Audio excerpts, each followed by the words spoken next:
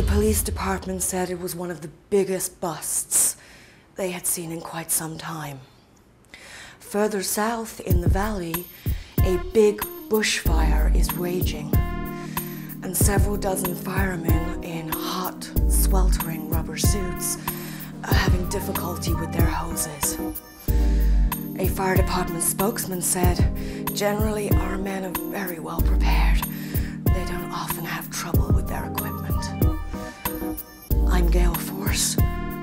Bringing you the local news.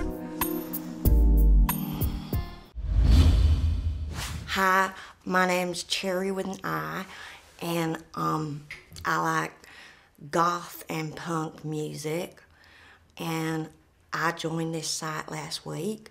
I've been on one date so far, um, and well, he he was real sweet, and I, I'm just looking for love, you know, different kinds of love.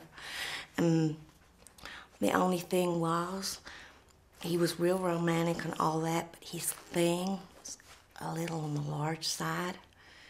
And I thought I couldn't take it.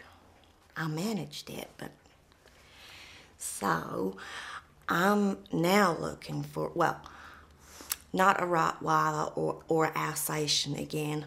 I'd like something a little more docile, maybe a, a, Great Dane, if anybody out there's got a Great Dane, or one of those large poodles with, with the shaved bits, that might be kind of fun.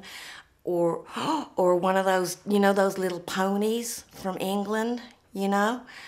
Um, I'm not sure I'd ever do it with a horse, because I think that's kind of wrong, but, well, no, maybe I would. I think you gotta try everything in life. This is my number down below. Bye.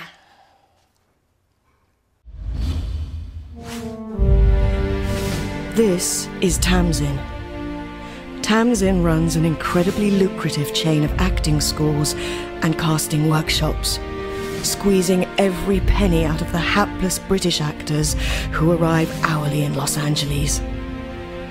Clearly, this woman needs to die. We have the gun, and for just a few cents a day, you can help us buy the bullets. Please, give generously. Live? Sex? Girls?